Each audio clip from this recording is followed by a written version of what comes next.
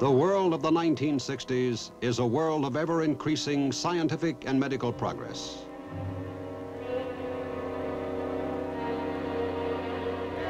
But it is also a world with great differences in ideology, great tension.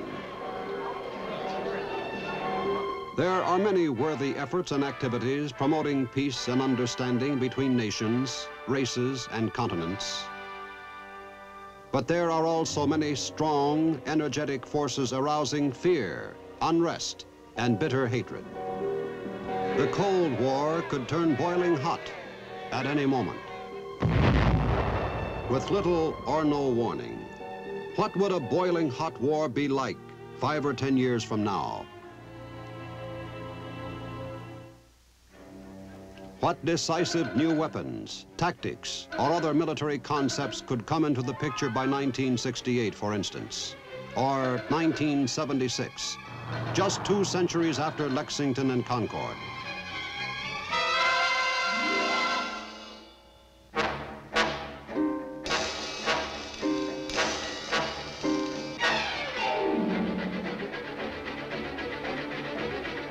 Today, as the Cold War grows warmer, it is increasingly important for us to think ahead, plan in advance, keep ourselves well prepared for any sudden shift to limited or all-out hot war. In an age of push-button attack and retaliation, we cannot afford to be even a few minutes or seconds behind the aggressor.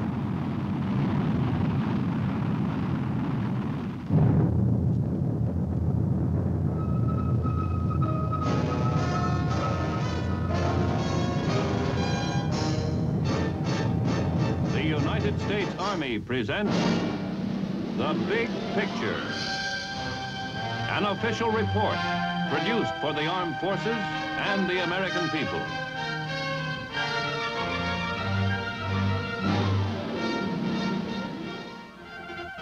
History is full of decisive new concepts. Not too long ago, for example, American football was dominated by the famous so-called flying wedge, it took steamroller tactics to move the pigskin towards the opposing team's goalposts.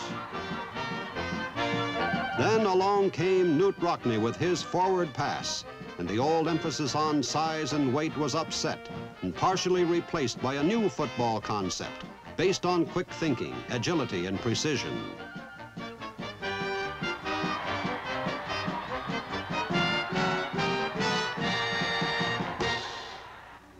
The same sort of upset took place towards the end of the Middle Ages at the Battle of Agincourt, a little village in northern France.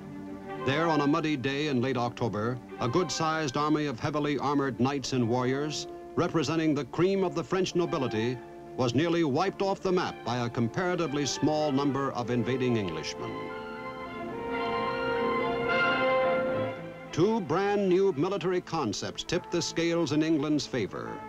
One of these was the idea of substituting light, flexible chain mail in place of the traditional unwieldy suit of armor. The other concept took the English hunting bow and turned it into a military weapon. During the Second World War, a whole series of new military concepts, like blitzkrieg tactics, and paratroop invasions upset a rather misplaced trust in trenches and fixed fortifications which had held over from World War I. In each of these classic examples, old, outmoded principles and practices were disrupted and routed by decisive new concepts. The side which came out on top was the side which prepared for the present and the future, not the past. Several years ago, therefore, our Continental Army Command, CONARC, established the Combat Development Section at Fort Monroe, Virginia. The mission of combat development is to help the Department of the Army determine the best possible doctrine, organization, and equipment for tomorrow's Army. This means striking out into unknown territory with brilliance, courage, and imagination it means fostering and developing all sorts of new military concepts, examining them in an accurate, objective manner, judging their fitness, and applying this judgment towards the development of an efficient, up-to-date fighting machine that will always be ready for trouble at a moment's notice.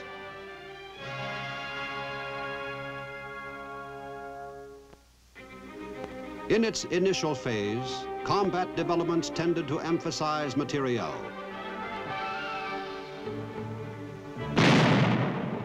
For hundreds of years, nearly every important new military maneuver or organization had come about as the result of some fairly recent weapon or other piece of Army equipment. This was true of the bow and arrow at Agincourt, the tank in the First World War, and the paratroopers in the Second, to mention just a few examples.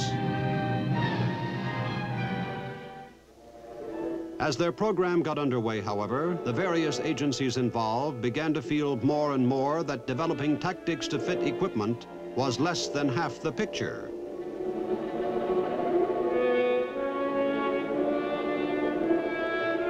That in most cases, tactics and techniques should determine weapons and vehicles rather than the other way around that it would be generally wiser to soft pedal the development of new material until we had decided what we were going to use it for, until we had asked ourselves what jobs we wanted done, what missions we wanted carried out.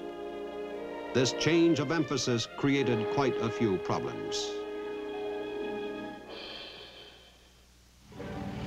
When we are evaluating equipment, it is quite easy to be both accurate and objective.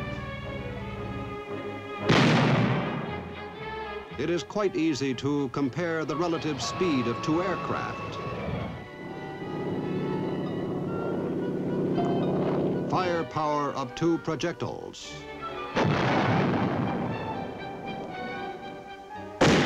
Or accuracy of two pieces of artillery. Because these differences can be seen by the naked eye, measured in fractions of meters, or timed in split seconds. When, however, we try to evaluate military tactics, techniques, and organizations, a great many rather difficult questions arise. How, for instance, can we judge a tactical concept without testing it in actual combat?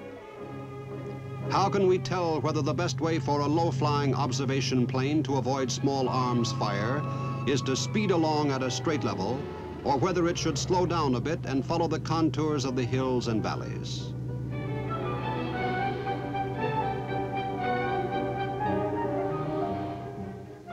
How can we determine whether a mobile platoon on a particular mission should have four personnel carriers or just two carriers, plus a tank and a reconnaissance jeep?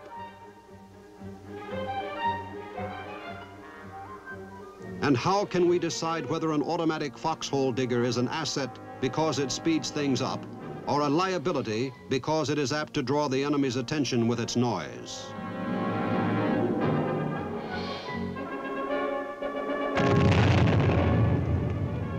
Above all, how can we be truly objective when we cannot use measuring rods and stopwatches, when you cannot count casualties? Faced with questions like these, the commanding general, U.S. CONARC, realized that a setup would have to be created where operational military concepts for the future could be evaluated under conditions just short of actual war.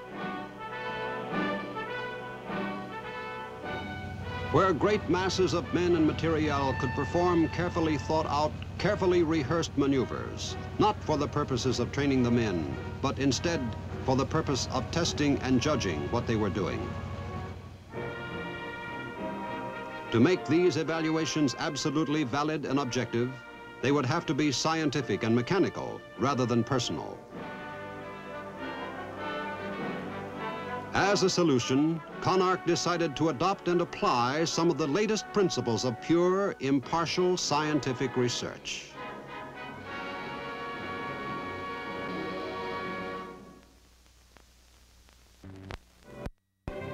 For a laboratory, they would need a varied landscape with all the terrain features which the concepts they wished to test might encounter anywhere in the world. Hills, mountains, and flat plains, forests, scrub, and open country. Above all, they would need plenty of space. After searching all over the United States for a piece of terrain with all these necessary features, CONARC finally selected the state of California.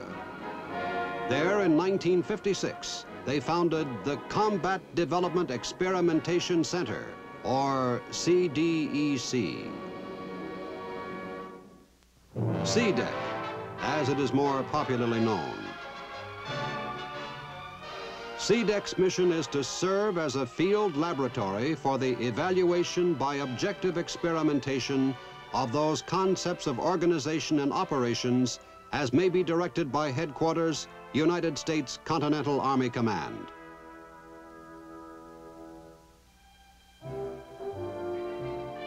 CDEC has two centers in California.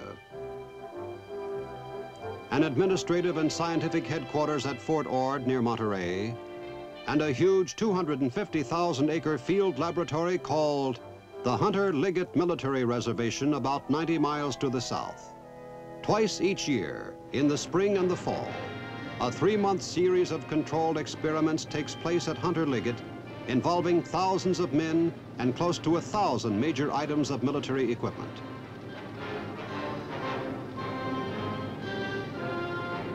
In most of these experiments, new concepts are tested by friendly troops against an aggressor force, employing all the tricks that our military intelligence believes a potential enemy may be using five or ten years in the future.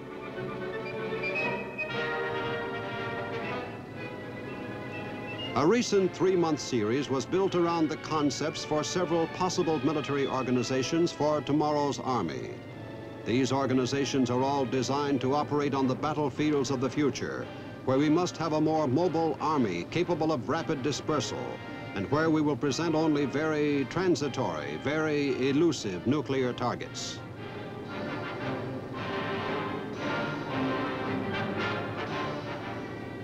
In order to make certain that experiments are conducted and evaluated in a strictly scientific manner, CDEC has more than 30 outstanding scientists under permanent contract with the Stanford Research Institute of Menlo Park, California. The effective cooperation between military personnel and these experts from all branches of the sciences is one of the most gratifying features of CDEC. When CDEC receives the project directive for a future experiment, the directive is assigned to a project team composed of scientists and permanently assigned officers. The team's mission is to translate the concept into a field experiment that will disclose under scientific control and analysis both its positive and its negative qualities. The military side of the team puts the concept into logical combat form and establishes whatever project requirements are necessary for supplies, equipment, transport, personnel, and training.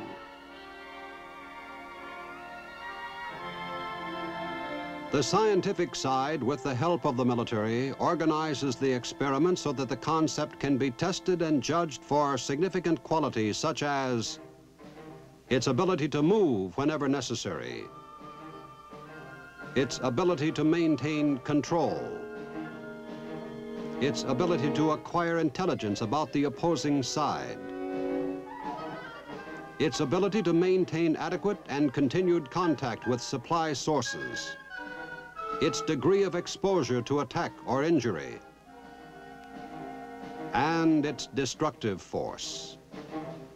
In each experiment, the concept, the thing being tested, is exposed to a series of varying conditions or circumstances. This is the old research principle of testing a constant against a series of variables.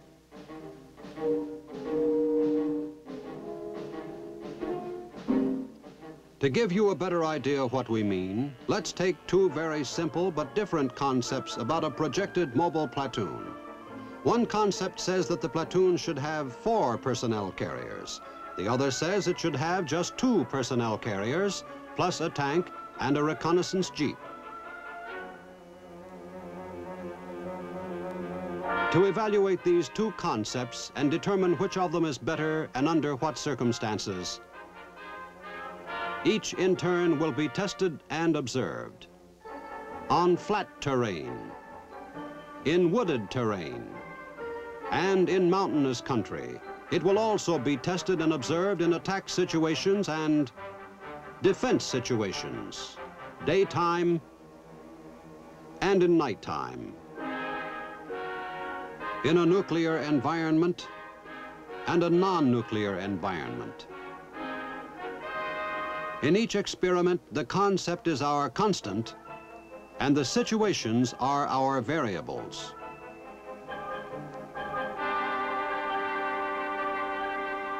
When a concept has been organized in this manner, each detail of the future experiment that will disclose its strengths and its weaknesses is written into what CDEC calls a scenario.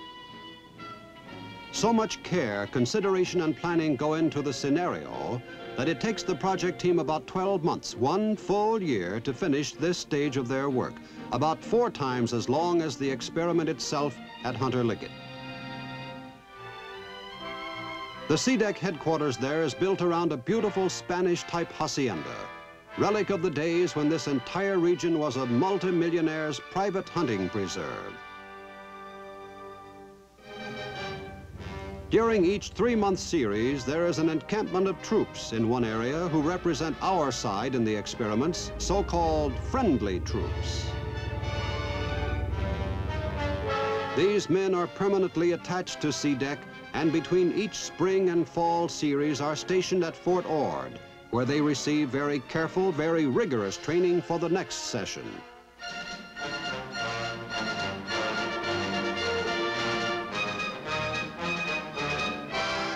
Several miles away is another encampment of troops, the aggressors. Between sessions, these men, advised by liaison officers from the Aggressor Center at Fort Riley, Kansas, receive equally careful, rigorous training in the latest tactics and techniques of potential enemies. Both sides have plenty of spirit and determination, plenty of what is known as esprit de corps. In other words, they play for keeps.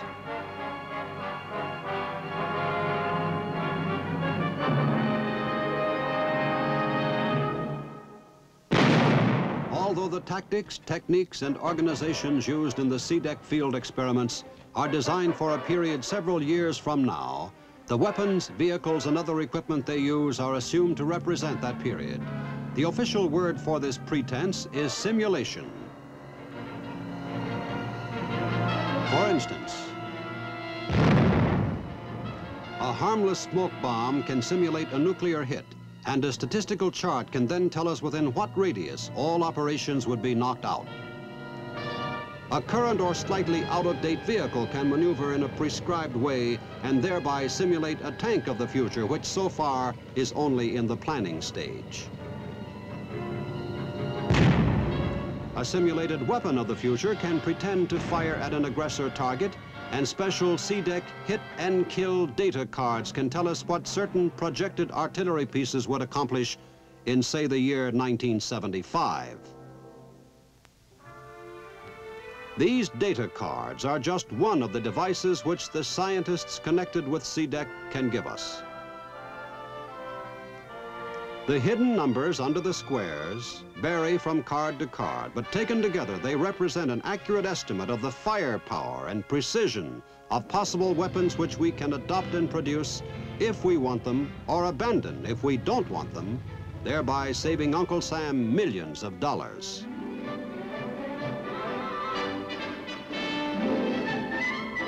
This 4th of July skyrocket can simulate a tank missile of 1970 this infrared transmitter, mounted coaxially on the tube of a direct fire weapon, and this infrared receiver, mounted on a tank, can tell us whether or not the tank has been hit by the weapon.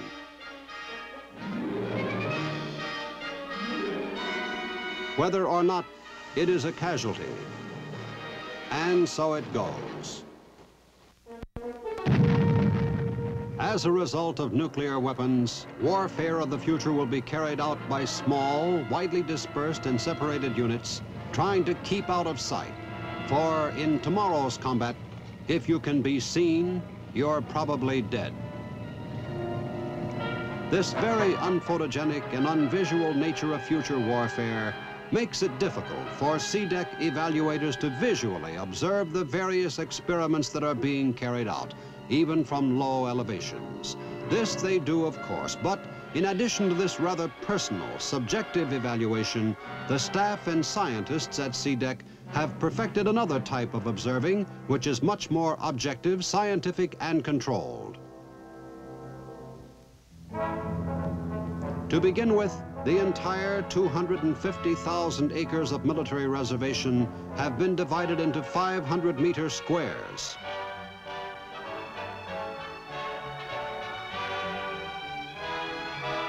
In the exact center of each square, there is a large marker identified by alphabet coordinates. CDEC has also placed smaller markers with additional color codes at 100-meter intervals. This means that individuals, vehicles, or units anywhere on Hunter Liggett terrain can always be located within 50 meters. In addition to this rather unusual and very effective system of marking location, CDEC has a special, very important third group of military personnel at Hunter Liggett, the field umpires and controllers. The field umpires, identified by special headbands, are neither part of the friendly troops nor part of the aggressor forces, but they monitor both sides while the experiments are being run. At regular, prearranged intervals, they report by walkie-talkie over a special network to the controllers who occupy one of CDEC's nerve centers, the Experimentation Control Center near headquarters. During every experiment, each individual squad, each tank, each personnel carrier has one of these field umpires who moves along with the unit. It also has a controller seated at his desk in the Experimentation Control Center. In the main room at the Control Center, or ECC, each controller is connected with the field operations by a separate ultra-high frequency channel. In this case, 15 controllers are in contact with the friendly troops and 15 with the aggressor forces. The front of the main room is dominated by a large situation display map, backed by aluminum, which shows the exact location of each unit in the field as it advances, holds its position, or retreats. Every five minutes or so, each field umpire notes his unit's new location and reports this information by walkie-talkie. His signal is picked up by Site Alpha, a powerful relay station which has been installed on one of the highest peaks in the area. At Site Alpha, the umpire's voice is converted to microwave and beamed several miles to the control center down in the San Antonio Valley. At the ECC, the incoming microwave is changed back to voice and transferred to the unit controller whose assistant records the new location.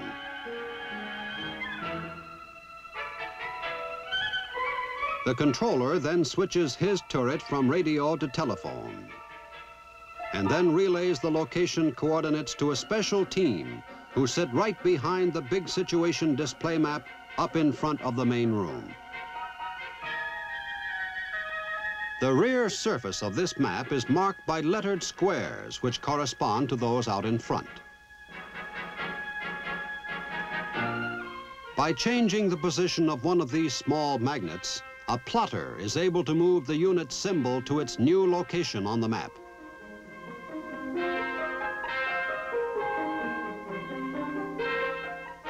As casualties occur in the field, these are also radioed in to the ECC.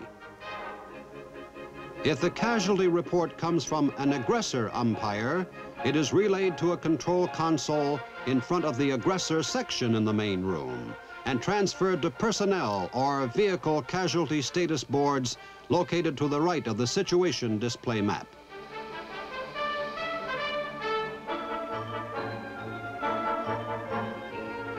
At the other side of the main room, a similar arrangement exists for the friendly units. Each pair of status boards is separated by a large square of ground glass.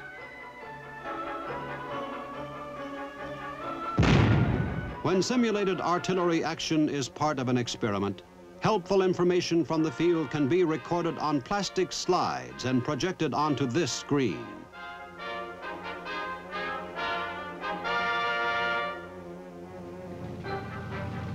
In addition to other duties, each controller at the ECC makes a personal record of all pertinent data concerning his particular unit.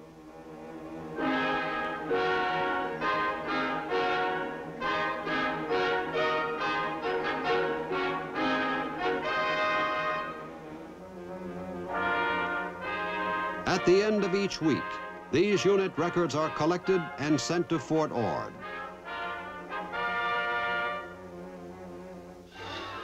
At Fort Ord, these records are broken down and compiled into special reports and statistics, and further reduced to IBM punched cards. It takes about 600,000 of these cards and perhaps a million photographs to register a three-month series of experiments. At periodic intervals, these cards are sent to the Stanford Research Institute for further analysis on the automatic data processing computers. When the UNIVAC tape and the photographs and the punched cards come back once again to Fort Ord, each project team spends a final few months studying them, evaluating the concept, and organizing their reactions, their conclusions, and their recommendations into a final report, which is sent back to Fort Monroe, Virginia. On the basis of these reports, CONARC will be able to decide years before they are needed whether or not a projected military organization is a valid concept. Whether or not the mobile platoon should have four personnel carriers, and whether or not the high-speed entrenching machine is really practical during combat.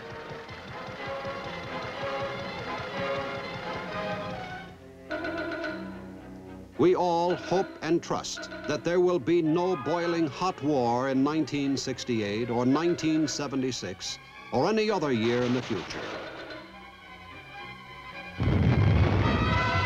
One of the surest ways to prevent this war is to prepare for all its possibilities as we are preparing through military and scientific activities like CDEC.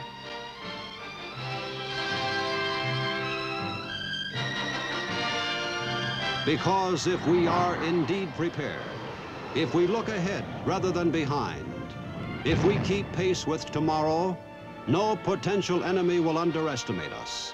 No potential aggressor will miscalculate. No potential troublemaker will dare strike.